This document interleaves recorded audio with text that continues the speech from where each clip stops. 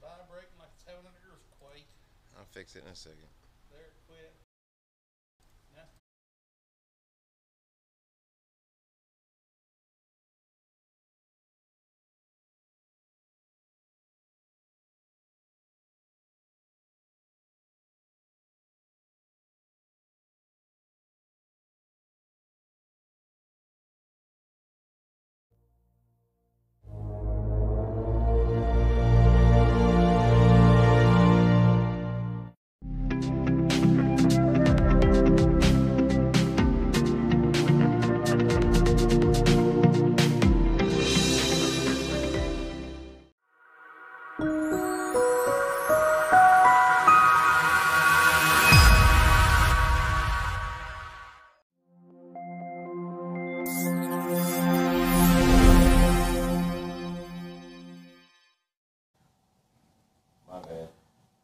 Am I on?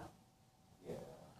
Hey everybody, Kent Marts here from Explore Scientific with the wrong graphic up, but you know what? That's okay. It's just par for the course. How about that? So, today is on the wing, so we're going to be talking about birding essentials. Uh, I don't have any birds prepared uh, pictures today, so you're just going to have to Ah, there it imagine is. Imagine pretty birds in your They were, they were supposed to see this. So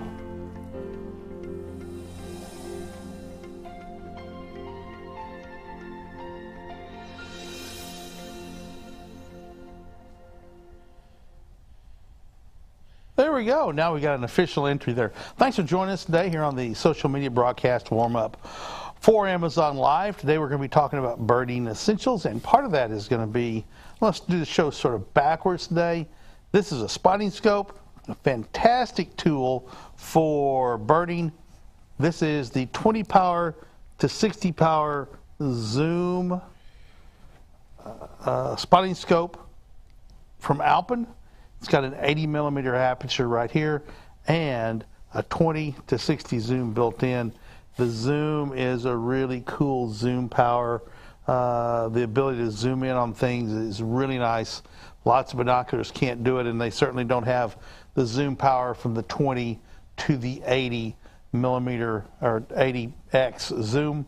This comes with a fine focus knob and a coarse focus knob right here, so you can get very prime, pristine focus, as well as the ability to simply turn it to where you get a very comfortable eye position. If that's what fits you right there, then you're setting down or whatever. Uh, gives you a really comfortable eye position to use when you're looking through the device. Now, this spotting scope does not come with a tripod. It's shown here for illustrative purposes. Uh, this is one that comes on another tripod uh, with another spotting scope. Does not come with this one, but uh, you can find all sorts of uh, tripods out there that these can go on. Really nice if you're going to be looking at stationary targets or slow moving targets. Lots and lots of birders use these. You'll see these in birding circles, lots of places. This spotting scope comes with a, it's waterproof, but it comes with a protective sleeve as well, so that the sleeve is going to simply slip on, and I can't slip this one on all the way because I've got a tripod on, but you get the idea. Goes on. It has a little hole down here, so you can mount it on a tripod right there where my fingers are coming out. See the dog fingers or scissor finger- fingers? So, what would be a good practical use for this particular? spotting set of things. If, Right, if right, You're going to be right. somewhere where you have a tabletop or a, you know, something you can set the the tripod ground. on, hood of a car. Uh, that's where I've used it when I've been out looking in fields. Uh, for ducks and geese, they're a long ways off. You get a much better view with this high power.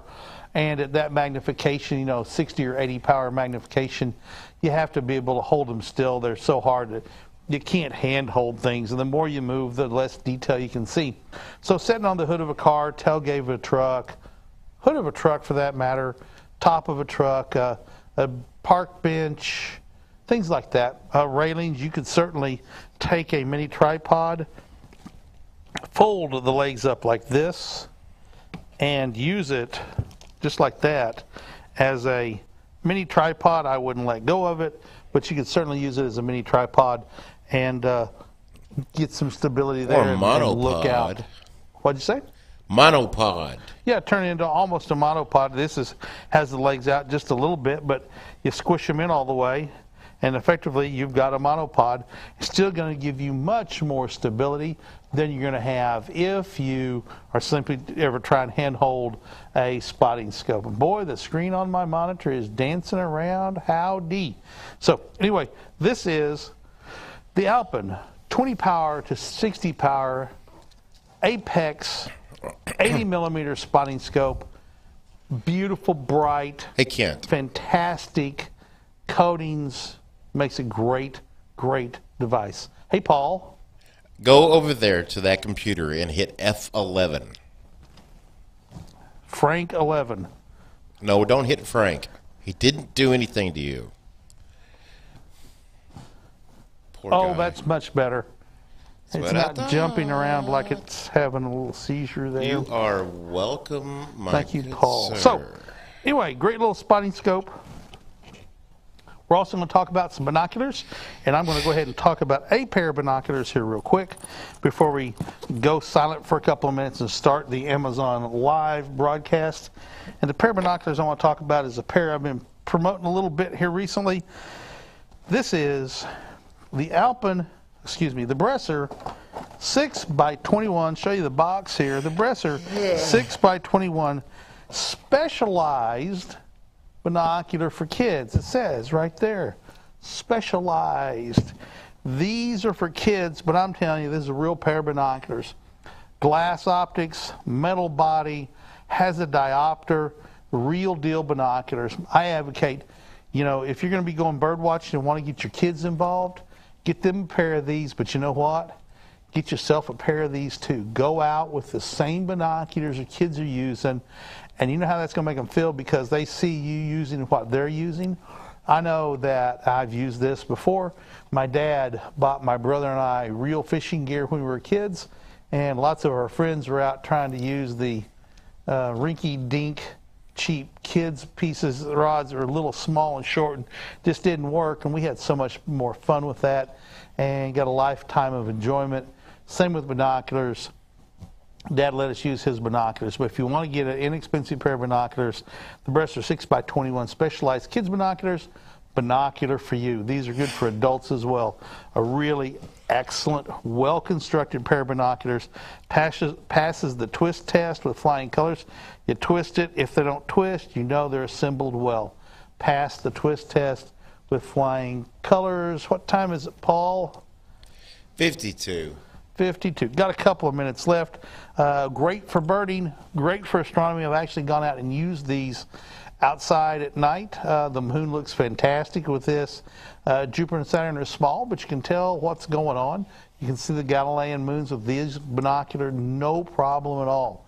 Um, really elegant, well designed, small kids pair of binoculars.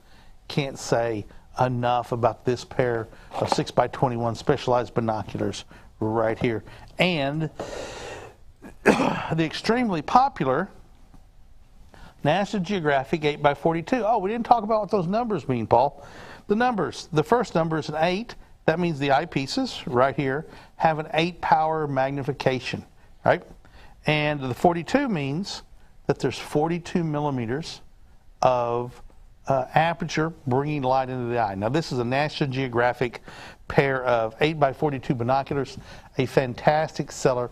We sell a lot of these for people who are wanting to get into uh, binocular, binocular use, whether it's sports, uh, outdoor use, excuse me, outdoor use, birding, whatever.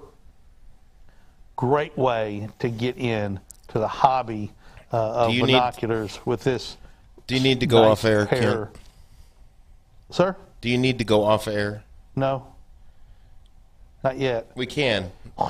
Yeah, let's go ahead and shut down and let's go ahead and uh, get ready for it's time anyway. Get ready for the Amazon Live broadcast. Okay. Um, so we'll see you over on Amazon Live here in a minute. We start at two o'clock Central Time every day. We're going to continue to talk about binoculars. See you over there in a few minutes, everybody. Thanks for joining us here on social media.